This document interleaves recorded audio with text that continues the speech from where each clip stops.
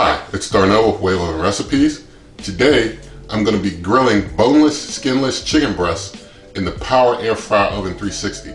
So we can see how this cooker does with grilling chicken breasts. And we're going to get started on that recipe right now. All right, our ingredients for these grilled chicken breasts in the Power Air Fryer Oven 360 are two boneless, skinless chicken breasts, some extra virgin olive oil, some applewood smoked sea salt, Mrs. Dash chicken grilling blend, and some freshly ground black pepper. I'll be using the iGrill 2 meat probes to keep track of both pieces of meat during the cook to make sure that I cook both to a minimum temperature of 165 degrees. Now I'm going to get the uh, Power Air Fryer Oven 360 started. So I'm just going to turn to bake because I want to get the temperature up to 425. On air fry, you can't go beyond uh, 400. So I want to go to 425. I'm going to set the temperature out to 40 minutes. It should not take that long, but because I'm going to be tracking temp. The air fryer fan is invoked, so I'm basically, you know, it's going to get real loud as soon as I start preheating. So let me tell you what I'm going to be doing here before I start the preheat and the air fryer fan starts making all its noise. I'm going to just coat these with the oil and spices.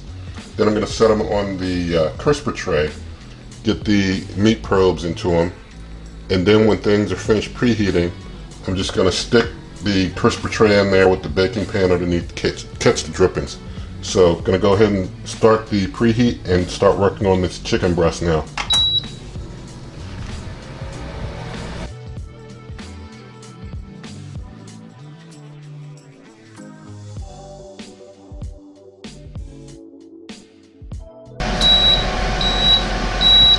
All right, we've reached our preheat temp, so gonna hit pause.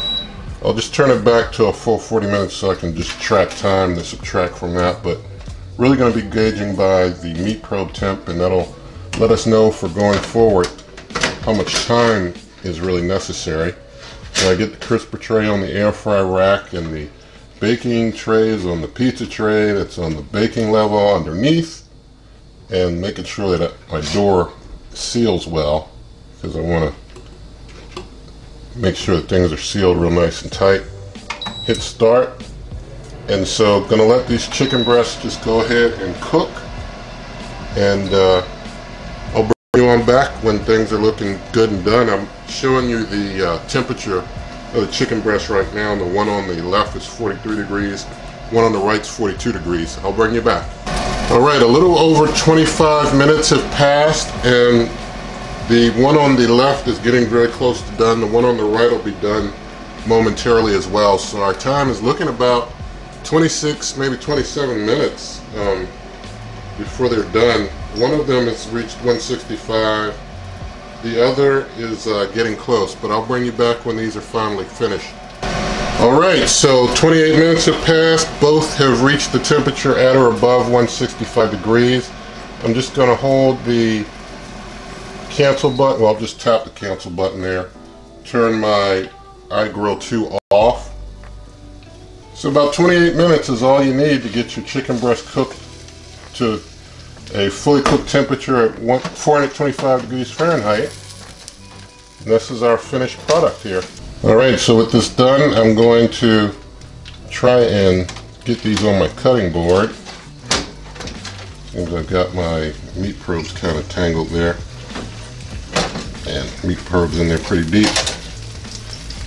All right, now get this other one.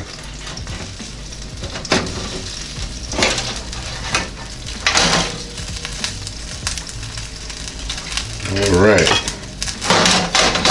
This stuff kind of out the way back in here. Sorry about that excess noise, but just want to get that out the way for now. So uh, I'm going to cover these, let them rest for about 10-15 minutes just to reabsorb juices a little bit and then I'll cut plate and taste test. Okay so I've got my chicken here that's been resting about 10-15 minutes and uh, just gonna take the foil off that I had covering it and that is our finished product. You can see as it reabsorbs juices, some of the juices come out, but you want to wait. You don't want to just eat immediately. You want the juices to kind of reabsorb some that are going to reabsorb in before you start uh, digging in to eat. I'm going to cut one in half now and uh, let you have a look inside of one. There you go, fully cooked, very juicy, very juicy. So just going to get a couple slices for taste test purposes sliced off of here. And I'll just put this other bigger part on the plate just for viewing after I move the camera around. And so I'll get the, move, the camera moved around and do a taste test. All right, here's our grilled chicken breast from the Power Air Fryer Oven 360. I just want to show you the underside because I didn't flip this one. So the underside, you know, it's got pretty good cook on it. It's got some char on the bottom there. So without flipping, did pretty good. Let's do a taste test.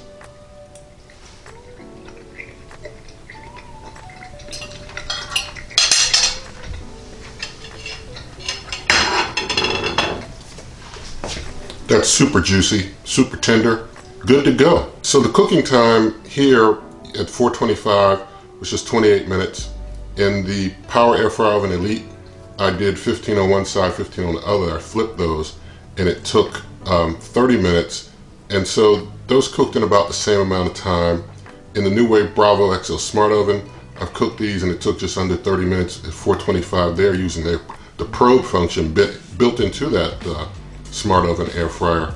So all these cookers grill your chicken breast in about the same time. So any type of uh, toaster oven or like convection type toaster oven or air fryer that you have probably will do about the same except for maybe the drawer pull out air fryers may be a little different as far as the cooking time but as far as the oven type of cookers that do air frying they're all going to do about 425 and probably you know 30 minutes or somewhere below they're going to knock it out so I do uh, hope you like this video this recipe and others in written form at superwaveovenrecipes.com. You can get printable copies there.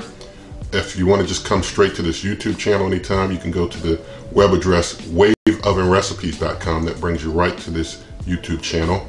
Also, I'm on Twitter at Wave Oven Recipes. Instagram photos of this and other cooks are at uh, Wave Oven Recipes on Instagram. Patreon's patreon.com slash Wave Oven Recipes. If you like the video, give it a thumbs up.